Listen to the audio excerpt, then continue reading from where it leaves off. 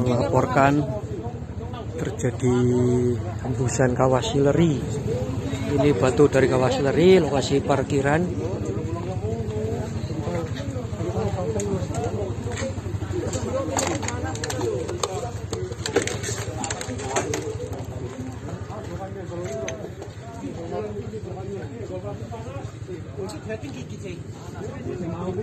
Mas menangi Nggih, kula pas teng mriku. nggih Saking bawang dadi teng Wonosobo.